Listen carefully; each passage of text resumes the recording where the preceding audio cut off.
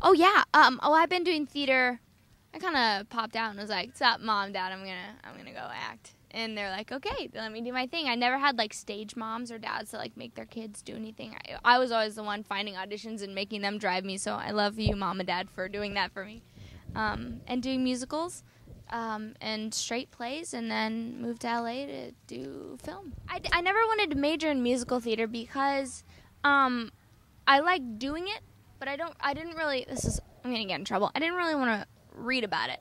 You know, I love watching movies, but I didn't want to read about them. I don't know if if I can explain that, but I love. I was a straight A student. I was a big brain in high school. I was kind of nerdy, speech and debate and all that. So I wanted to do. I wanted to study things in college that would challenge my mind. Hopefully, I want to go back to college and and um, study the world and languages and Greek mythology and everything I can. So, um, I have done. Oh my gosh, I've done way too many. I did Annie. I was Annie. Big surprise. Kind of stereotypical. Um, I did Seussical.